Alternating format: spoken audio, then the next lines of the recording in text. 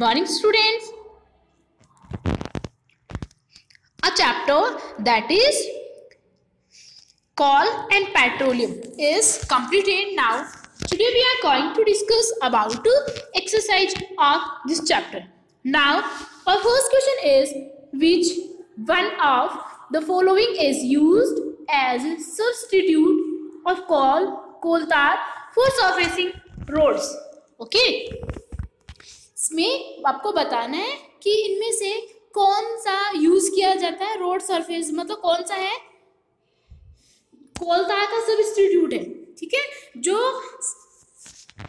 Surfacing rod से जो है, उसके लिए यूज़ किया जाता है। So it is bitumen it is bitumen now our next question is identify the exhaustible natural resource इसमें आपको बताना है एक्सहोस्टिवल नेचुरल रिसोर्स अब एक्सहोस्टिवल का मीन क्या होगी ये टाइम के साथ साथ में खत्म हो जाएँगे okay so coal coal also exhaustible and now natural gas also exhaustible resource so both A and B both A and B now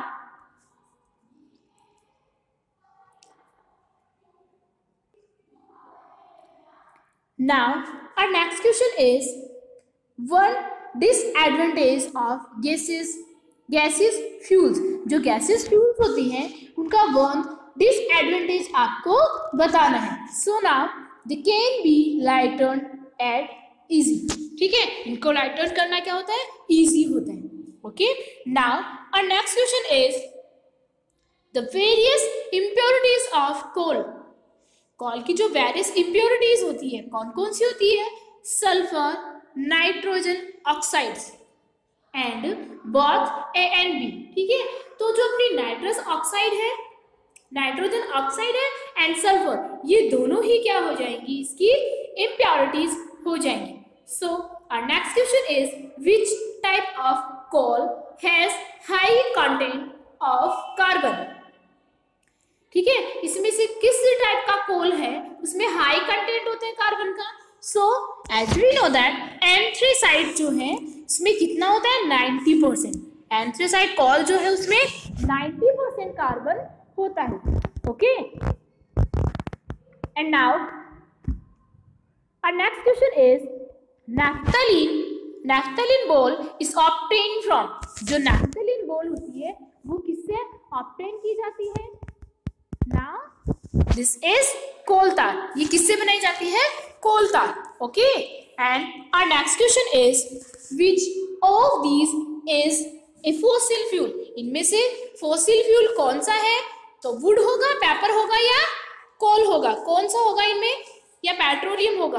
कौन सा होगा इनमें? तो जो पेट्रोलियम है, वो क्या हो जाएगा? फोसिल फ्यूल पेट्रोलियम क्या है अपना? Fossil fuel okay And now, next we are going to discuss about very short answer type questions. Very short answer type questions. So, our first question is, how was coal formed? जो कोल है वो कैसे बनती है now let's see the answer okay coal is produced when the dead plant material turns into peat and is converted into coal by the heat and pressure of deep buried over millions of years ठीक है इसमें क्या हुआ कि जो call कैसे बनता है कि जो डेड प्लांट्स हैं और डेड प्लांट्स मटेरियल हैं उनका जो ये किसमें कन्वर्ट हुए पीट में कन्वर्ट हुए कैसे हुए मतलब ये मिलियंस ऑफ़ इयर्स पहले ये बरीड हो गई थी। Okay so our next question is what is compress natural gas जो सी एन जी है कंप्रेस नेचुरल गैस वो क्या है? So it comprise comprises natural odourless इसमें किसी तरह की कोई स्मेल नहीं होती है clear and non corrosive gas ये क्लियर होती है एंड नॉन कोरोजिव होती है, इसमें किसी भी तरह का कोई कोरोजन नहीं होता इट मीन्स विस्फोट नहीं होता है. गैस विच कंटेन्स मेथेन ठीक है? और ये ऐसी गैस है जिसमें क्या नहीं, क्या कंटेन होता है? Methane that is stored under high pressure ठीक है? जो हाई प्रेशर से स्टोर किया जाता है. Okay and then our next question is what are allotropes allotropes क्या है? So now as you can see here allotropes the term allotrope refers to one or more forms of an elementary substance ठीक है? जो elementary सबिस्टेंसेज हैं, उनकी जो मोर forms होती हैं जो टर्म है एलोट्रोप वो किसको रेफर किया जाता है? जो मोर फॉर्म्स होती है, किसकी? एलिमेंट्री सब्सटेंसेज की, ठीक है? तो उनके लिए यूज़ किया जाता है। For example graphite and diamond जो ग्रेफाइट होता है और डायमंड होता है, वो कैसा है? एलोट्रोप है। किसके? कार्बन के। Our both allotropes of carbon ये किसके एलोट्रोप्स है? कार्बन के। And our question is what is mean by dry ice जो ड्राई आइस है, उसका मीन क्या है? So it is the common name of solid carbon dioxide ठीक है? जो सोलिड कार्बन डाइऑक्साइड है, उसका कॉमन नेम क्या है? Dry ice it is called dry ice इसको क्या कहा जाता है? Dry ice because it doesn't melt क्योंकि ये मेल्ट नहीं होती है into a wet liquid ये कभी भी वैट लिक्विड में मेल्ट नहीं होती. Okay so now next question is next we have is what is mean by refining of petroleum sorry name any four products of destructive distillation of coal coal का जो destructive distillation अपन ने पढ़ा था, उसके कोई four products के बारे में आपको बताना है।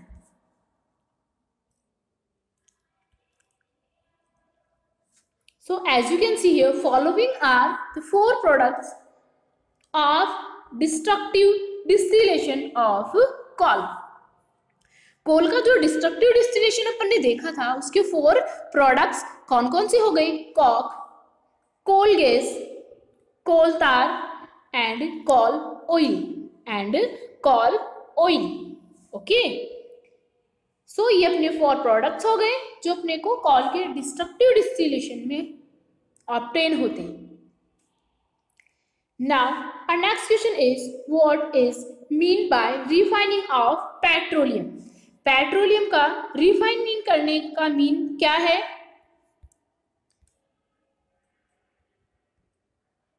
Okay, so now the process of separating various constituent fractions. Okay okay, ऐसी प्रोसेस जिसमें वेरियस जो अपने कंपोनेंट्स फ्रैक्शंस होते हैं उनको सेपरेट किया जाता है ऑफ़ पेट्रोलियम पेट्रोलियम के जो जितने भी फ्रैक्शंस होते हैं जितने भी कॉन्स्टिट्यूएंट्स होते हैं उनको सेपरेट किया जाता है. इज़ कॉल्ड रिफाइनिंग और इन्हीं को अपन क्या कहेंगे? Refining at the refinery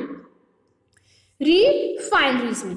The crude oil mixture is refined और इसमें जो इसका जो क्रूड ऑयल होता है, उसका मिक्सचर होता है, उसको रिफाइन किया जाता है बाय फ्रैक्शनल डिस्टिलेशन किसके थ्रू फ्रैक्शनल डिस्टिलेशन के through okay so now our next question is as you can see here state one advantage of CNG our diesel and petrol जो डीजल एंड पेट्रोल है, इस पे CNG का आपने को क्या बताना है? वन एडवांटेज बताना है। वन एडवांटेज बताना है। So natural gas produced very less hydrocarbon ठीक है? जो नेचुरल गैस है, कौन सी है अपनी? नेचुरल गैस सीएनजी ठीक है? तो जो सीएनजी नेचुरल गैस है, जब ये गैस ये प्रोड्यूस होती है तो ये क्या करती है? वेरी लेस हाइड्रोकार्बन तो इसमें जो हाइड्रोकार्बन है, वो बहुत ज़्यादा कम प्रोड्यूस करते हैं then LPG and diesel LPG and diesel से कम प्रोड्यूस करते हैं. Okay next we are going to discuss about two short answer type questions short answer type questions then our first question is, what steps would you suggest for the judicious use of fossil fuels. Judicious use of fossil fuels. ठीक है? उसके लिए आप क्या suggest करोगे? कौन से steps आपको फॉलो करनी चाहिए? So as you can see here following are the steps for the judicious use for fossil fuels जो फोसिल फ्यूल्स हैं, उनको अगर अपने को सेव करना है, ज़्यादा टाइम तक, अगर अपन चाहते हैं कि वो ज़्यादा टाइम तक अपने पास रहे तो उनके लिए अपन क्या कर सकते हैं? Now drive at moderate speed एक तो इसकी स्पीड जो है वो कैसी होनी चाहिए? मॉडरेट स्पीड होनी चाहिए. ओके इट मीन ज़्यादा आपको स्पीड में भी आपको ड्राइव नहीं करना है और कम स्पीड में भी ड्राइव नहीं करना है. इंश्योर करेक्ट टायर प्रेशर और जो टायर है, उसका जो प्रेशर है, वो आपको श्योर करना है कि ये करेक्ट है या नहीं है. And switch off the engine और इसके अलावा आपको क्या करना है? इसका जो इंजन है वो स्विच ऑफ़ रखना है। उसका स्विच ऑफ़ रखना है कब? एट ट्रैफ़िक लाइट्स जब ट्रैफ़िक लाइट्स हो तब। Okay get the vehicle service regularly और आपका जो व्हीकल है, उसकी सर्विस आपको रेगुलर करवानी है। Use public transport and bicycle for short distance और अगर आपको शॉर्ट डिस्टेंस कवर करना है तो आपको क्या करना है? जो पब्लिक ट्रांसपोर्ट्स हैं या फिर व्हीकल्स हैं सॉरी बाइसाइकिल हैं, उनका आपको यूज़ करना है। Use car pools to go for work और टू स्कूल जब भी आप स्कूल जाते हो या वर्क करने के लिए जाते हो तो जो कार है कार पुल्स कार पुल्स का यूज़ करना है। Okay so now enough for today and next further chapter we will discuss in our next class. So thank you